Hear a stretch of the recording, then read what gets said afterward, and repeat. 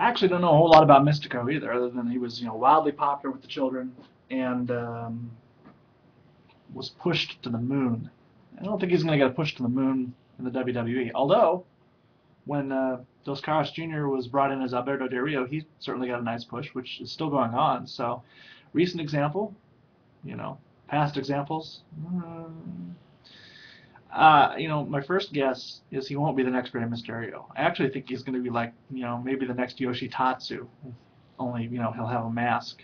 I, I assume they're going to keep the mask. It would be really insane for them to not do so, but, you know, this is WWE we're talking about, so who knows either way. Uh, I, I think he's just going to have a lot of, you know, he'll have a couple of unique, which is read as lucha libre, which nobody does move, so he'll have some flippy floppy stuff and hopefully that'll be enough to get him over because I don't know that he would get a lot of promo time. I'm not sure how his English is. You know, there's a lot I don't know. I'm probably not the person to ask about this then, but uh, you know, they must have a plan or they wouldn't have, uh, you know, hired him and paid him.